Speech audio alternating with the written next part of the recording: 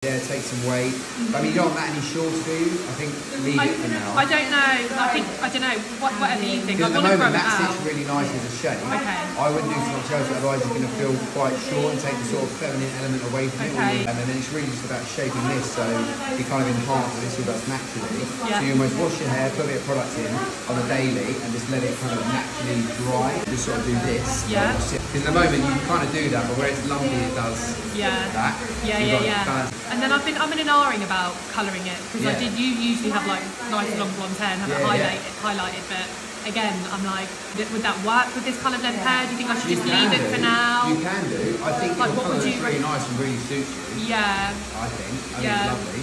So I personally would leave it for a while. Yeah. Just because where your hair's a bit shorter and it's curly and stuff. I mean, it depends on what you want to do. You could do a few little bits softly if the sun's lightened it so it brings it Yeah, out. Because I think I want to leave my blonde. I want to leave my blonde era in the past.